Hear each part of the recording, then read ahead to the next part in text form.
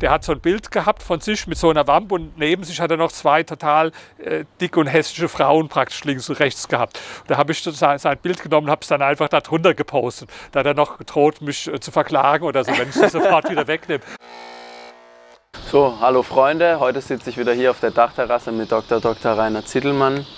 Mein Name ist Fabian Fröhlich und Herr Zittelmann hat sich hauptsächlich immer mit den Themen beschäftigt, wie wird man reich, wie bleibt man reich, haben wir jetzt auch eben zuvor ein Video aufgenommen dazu, das verlinke ich euch mal hier.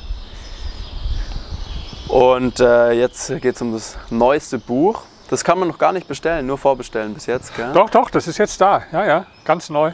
Ganz ja. neu, es gibt ja. schon jetzt. Genau. Ja. Perfekt. Und ähm, zwar geht es darum, wie wird man berühmt? Ja, genau. Fragen jetzt manche Leute, warum überhaupt? Ich will gar nicht berühmt werden. Ja? Ja. Also äh, erstens mal berühmt werden, ja, das ist so ein bisschen der plakative Titel. Es geht darum, wie man sich selbst als Marke aufbaut. Ja? Und ich denke, das ist schon sehr wichtig. Es gibt ja auch viele Leute heute, YouTuber, äh, äh, Influencer und so weiter, die genau das wollen und wo ja auch das Geld, was sie dann verdienen, insofern ist wieder eine Verbindung, ja direkt proportional ist zu der Bekanntheit, die Ja. sie äh, erreichen. Ja? Und ähm, ich bin ja immer einer, der nicht so theoretisiert, sondern der einfach mal die Leute anguckt, die da am besten sind und wie die es gemacht haben. Und ich habe dann zehntausende Seiten wirklich Biografien gelesen und analysiert und habe zwölf Personen rausgesucht, die besonders gut darin waren, sich selbst als Marke aufzubauen. Und das sind absolut unterschiedliche Menschen, wie so unterschiedlicher nicht hätten sein können. Also zum Beispiel so Physiker wie Albert Einstein oder Stephen Hawking oder auf der anderen Seite ist jemand wie äh, Madonna oder Kim Kardashian, ja, also total gegensätzlich. Muhammad Ali und Arnold Schwarzenegger, aber auch jemand wie äh, Steve Jobs oder äh, Steve Jobs wie Karl Lagerfeld, ja, Donald Trump ist auch dabei, Oprah Winfrey ist dabei, Andy Warhol ist dabei, ja. Also ganz unterschiedliche Leute, aber alle haben so eines gemeinsam, dass sie alle super gut verstanden haben, wie mache ich mich selbst zu einer Marke. Und das, das sollte man jetzt nicht kopieren, aber da kann man eine Menge davon lernen. Und ähm, was waren die wichtigsten Punkte bei denen? Haben Sie eigentlich gesagt, eigentlich, Sie wollen jetzt auch berühmt werden, weil Sie das Buch geschrieben, ha geschrieben haben? Oder was war so der Hintergrund dazu? Ja, ja, nee, also das ist schon, ich, immer wenn ich ein Buch schreibe, dann will ich auch selbst was für mich lernen. Also ich sag mal, bevor ich überhaupt mit Immobilien richtig reich war, hatte ich ein Buch geschrieben, 1999, das hieß Reich werden mit Immobilien. Ja? Ja. Also das ist bei mir so ein Buchtitel, ist auch mal ein bisschen ein Arbeitsprogramm für mich. Ja? Und ich bin auch in der Tat jetzt, äh, ich bin auch der Meinung, man sollte nicht über Dinge schreiben, äh, wo man also selbst noch gar nichts nachgewiesen hat. Jetzt bin ich natürlich lange nicht so bekannt wie äh, Karl Lagerfeld oder Oprah Winfrey.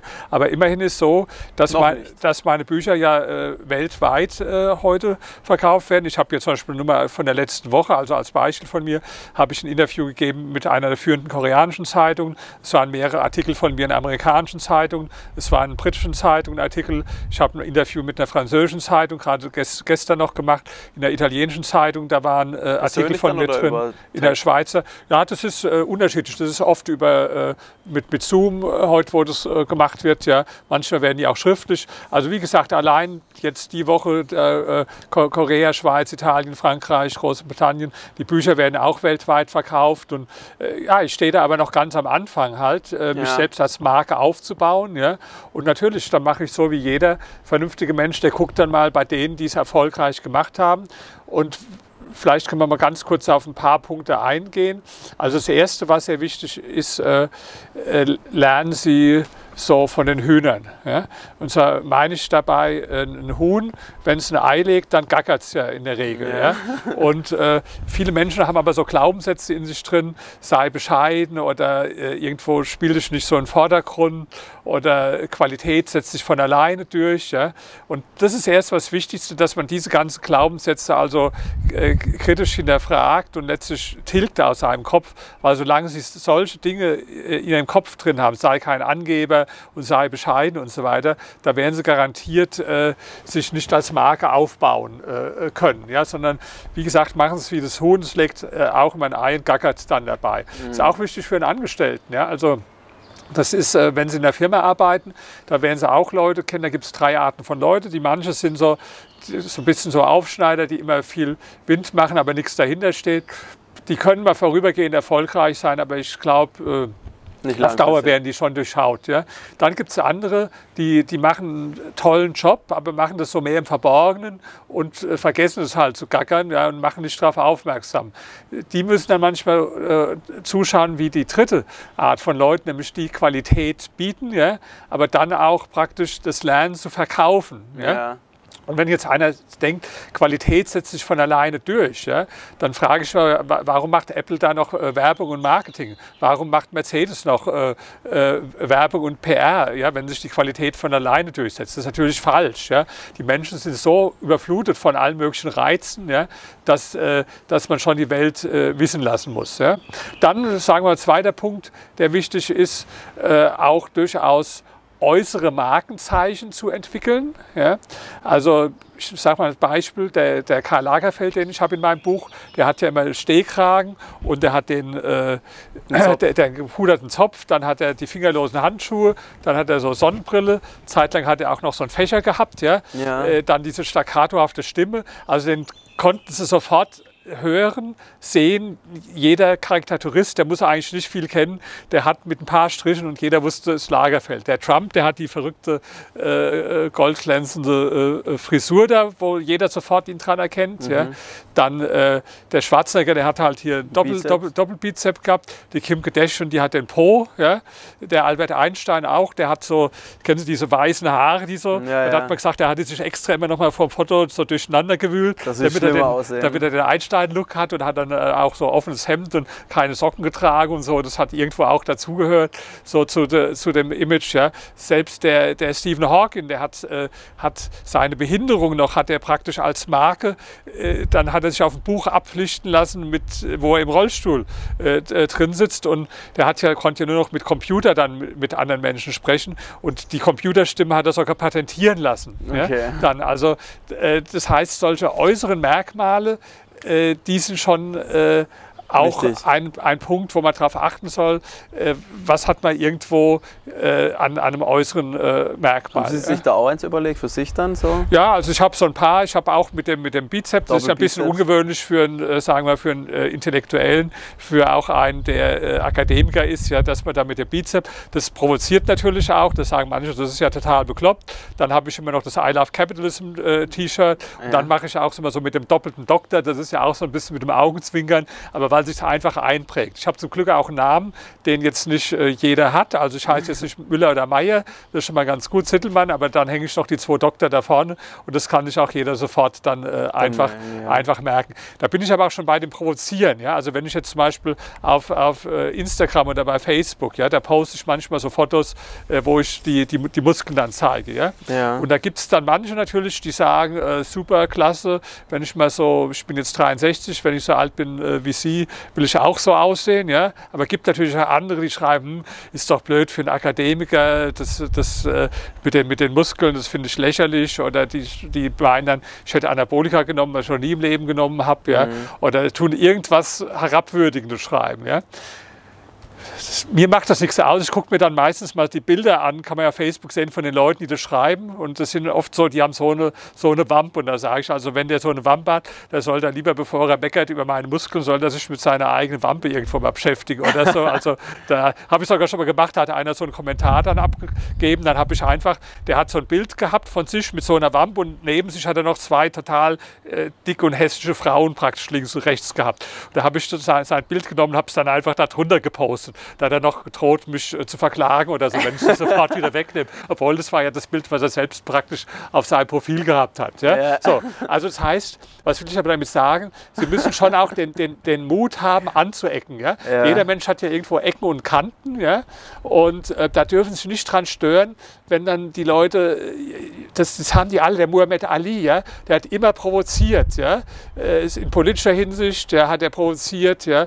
ist nicht zur, zur, zur Army gegangen und äh, so. Dann hat er mit, mit seinen Sprüchen äh, äh, provoziert, äh, die, die Leute. Ja? Hat die immer herausgefordert. Ja?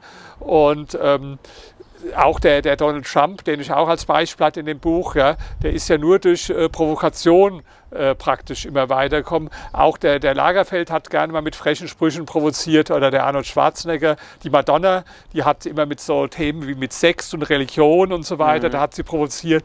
Äh, der, der Annie Warhol sowieso. Ja. Also da habe ich viele Beispiele drin in dem Buch, dass also Provokation gehört äh, absolut auch äh, äh mit dazu, dass man also den, den, den Mut hat, auch anzuecken. Ja. Und dann ist wichtig so, PR, PR, PR. Ja? Also, dass sie wirklich Public Relations, dass sie Presse, Öffentlichkeitsarbeit, ja? Social Media sind wichtig, aber nicht nur Social Media, ja? sondern dass man wirklich auch guckt, äh, wie, wie kommt man in verschiedene äh, Medien rein. Ja?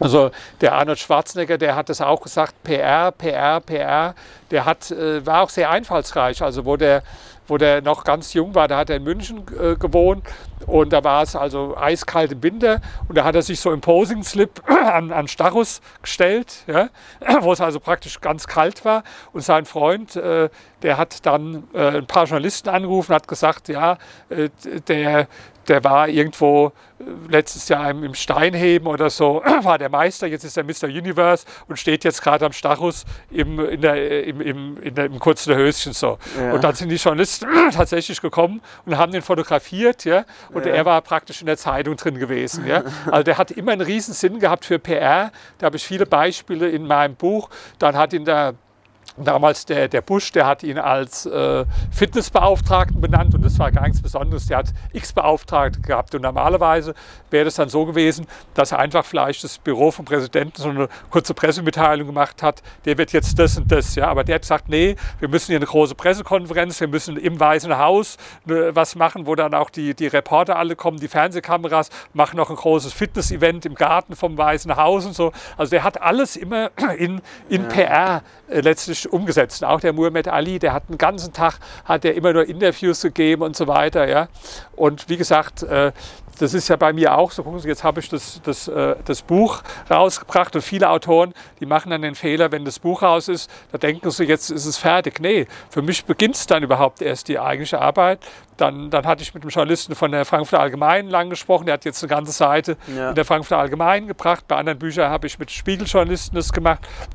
Und dann, äh, dann gucke ich, wie man das weltweit auch vermarkten kann. Und also sagen wir, dieses, dieses äh, Medien und PR ist total wichtig. Ja? Wie viele Bücher verkaufen Sie dann so am Tag so oder im Monat? Alle zusammen?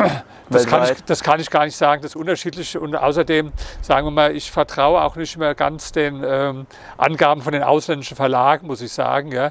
Man kann es nicht jetzt richtig prüfen. Ja. Das können mal Monate sein, wo die einem dann mal sagen, toll, also zum Beispiel, ich habe hier ein Buch, das in China sehr erfolgreich, da haben sie sagen wir mal im Monat 10.000 Stück verkauft. Ja.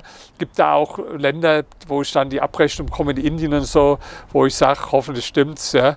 Aber sagen wir, das ist auch... Äh, bei den Büchern steht tatsächlich das Geld verdienen im Moment nicht bei mir im Vordergrund, äh, sondern einfach die als Marke ähm, aufzubauen. Mhm. Das ist das. Äh, das ist das Entscheidende. Ja. Und vielleicht noch ein letzter Punkt, ähm, der auch ganz gut ist, solche, solche kurze Gedichte oder Sprüche. Der, der Muhammad Ali, der hat immer so Sprüche gemacht, wie zum Beispiel äh, Flieg wie ein Schmetterling und Stich wie eine Biene, das war so ein Spruch. Ja. Und dann hat er immer so kurze Gedichte gemacht, auch über seine Gegner. Auch der Lager, Lagerfeld kennt man, der ist immer durch seine Bonbons äh, bekannt geworden. Also wer, wer eine Jogginghose anzieht, hat die Kontrolle über sein Leben verloren. Ja? Das kennt fast jeder den Spruch. Ja. ja? Und so gibt es aber ziemlich viele so Lagerfeldsprüche. Auch der Einstein, der hat das immer gemacht, ja? auch weil sich sowas einprägt. Ja? Und das sind alles Sachen, die muss man jetzt nicht kopieren. Ja? Aber wenn man jetzt das Buch liest ja, und sagt, okay, äh, sagen wir, für, für jeden, der jetzt äh, YouTube oder als, äh, sagen wir, Influencer oder so bekannt werden will, da ist es eine absolute Pflichtlektüre, weil es ganz viele Ideen gibt und die, den, den, richtigen Mindset, wie man jetzt bekannt werden will. Aber selbst wenn man das nicht äh, werden will, dann ist es einfach, sagen wir, interessant, äh, auch für jeden, wenn Sie jetzt zum Beispiel äh, Unternehmer sind, ja, dann brauchen Sie ja auch für sich und Ihre Firma ein, USP, wo mhm. sie sich irgendwo unterscheiden, wo sie sich einprägen. Ja?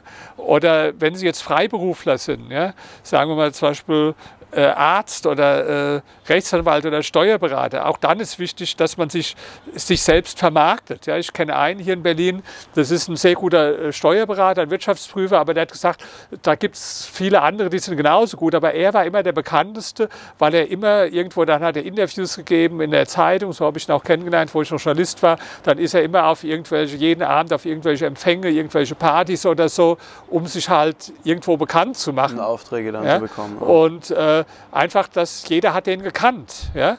Das war wichtig. Ja? Das, das hat der Arnold Schwarzenegger auch mal gesagt. Egal, was du machst, ob du Schriftsteller bist, ob du Musiker bist, ob du Künstler bist, ja? Äh, solange die Leute nichts davon erfahren, äh, ist alles umsonst. Ja? Und ich meine, er ist ja auch ein Beispiel dafür.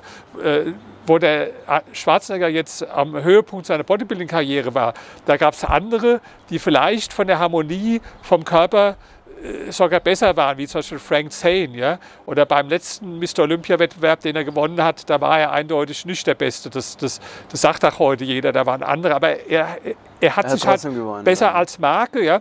Und von der Muskelmasse, ich meine, da, gibt's, da gab es danach welche, die haben viel, viel mehr Muskeln. Also wenn Sie mal Ronnie Coleman zum Beispiel, wenn Sie Ja. den neben Arnold Schwarzenegger stellen würden, dann würde er also eher dünner aussehen. Ja? Ja. Aber Ronnie Coleman, also so ein paar Insidern, so Bodybuilding-Spezialisten, kennt keiner den Namen, aber Schwarzenegger kennt jeder auf der ganzen Welt. Ja? Und, und so ist es auch bei anderen Beispielen. Also der Muhammad Ali, den kennt jeder, das war der bekannteste Boxer überhaupt. Ja. Ja. Obwohl, jetzt mal rein, klar, der hat auch eine tolle boxerische Leistung gehabt, ja, der hat, äh, war mehrfach Weltmeister. Aber wenn man jetzt mal rein gibt es so wissenschaftliche Berechnungen, wie viele Treffer hat er gelandet, wie oft wurde er getroffen und so weiter. Ja? Und da gab es mehrere andere Boxer, die, waren die dann, viel ne? besser waren als er. Aber keiner war so gut, sich selbst zu vermarkten. Und dann gibt es sogar welche wie die, wie die Kim Kardashian, ja? die ist in drei Bereichen gescheitert. Als Schauspielerin gescheitert, als Sängerin gescheitert und als äh, äh, Sängerin. Ja? Also Sängerin, Tänzerin und Schauspielerin. So, okay. ja, die, die drei Bereiche, genau. Ja. Und trotzdem hat sie es einfach, weil sie genial war in der Selbstvermarktung, hat es geschafft. Die hat heute äh, fast so viel Follower auf Twitter wie äh, der amerikanische Präsident, der Donald Trump, und äh, hat mehr Follower auf Instagram als die, ähm, äh, als die Top-Fußballer der Welt. Und ich meine, da kann man sagen, ja, das ist blöd und so und von der halte ich nichts, muss mir auch nicht. Aber ich bin nur der Meinung, äh, man kann von jedem Menschen etwas lernen Ja. und deswegen habe ich gesagt, ich suche hier einfach die, die, die zwölf Besten raus, die absolut die Genies waren der Selbstvermarktung und habe am Schluss von jedem Kapitel immer so eine Zusammenfassung, äh, was sind so die Instrumente der Selbstvermarktung, die dieser Mensch für sich genutzt hat. Nicht, dass man es jetzt einfach kopiert, aber einfach, dass man Ideen Denkanstöße daraus als Anregung ja. sagt und sagt, äh, das könnte mir auch weiterhelfen. Ja, alles klar. Dann danke für die Insights und Ihnen viel Erfolg dann gell, bei, der, bei der Selbstvermarktung. Genau.